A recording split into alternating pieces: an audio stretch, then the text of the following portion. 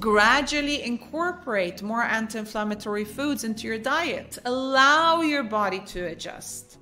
Stay hydrated. Drink plenty of water to support digestion and overall health. Mindful eating. Oh, I love this. Mindful eating. What does that mean?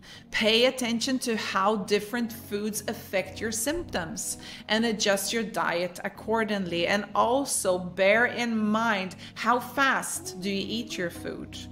What are you doing while you're eating your food? Are you scrolling on Instagram, on TikTok, or are you actually enjoying every single bite? Are you listening to the body's signals of when the body tells you, hey, I'm good. I don't need to eat anymore. And then last but last not least, if you really struggle with taking control of your life, taking control of your diet, then I would definitely look into consulting a nutritionist or a dietitian